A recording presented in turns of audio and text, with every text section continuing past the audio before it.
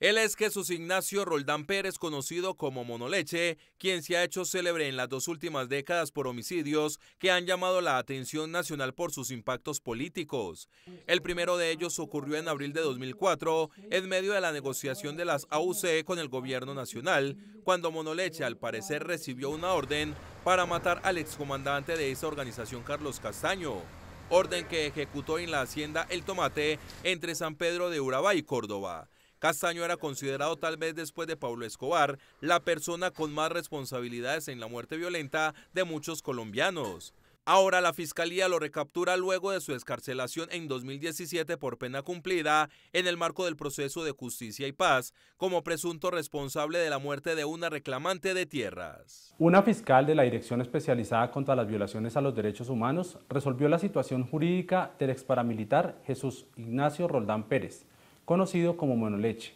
y le impuso medida de aseguramiento de detención preventiva como determinador del homicidio de la líder reclamante de tierras, Yolanda Yamil Izquierdo Berrío, ocurrido el 31 de enero del 2007 Yolanda Yamile Izquierdo representaba a 843 familias que esperaban recuperar sus tierras en Córdoba, todas arrebatadas por los paramilitares en ese departamento. Por tratarse de un hecho sucedido luego de la desmovilización de alias Monoleche, la Fiscalía lo vinculó formalmente por los delitos de homicidio agravado y tentativa de homicidio en atención a los parámetros de la Ley 600 de 2000. Cuando recobró su libertad, un juez de ejecución de penas de Antioquia le dijo a Monoleche que no podía salir del país sin orden judicial y debería notificar cualquier cambio de residencia, pero su recaptura se dio en Bogotá en medio de un concierto.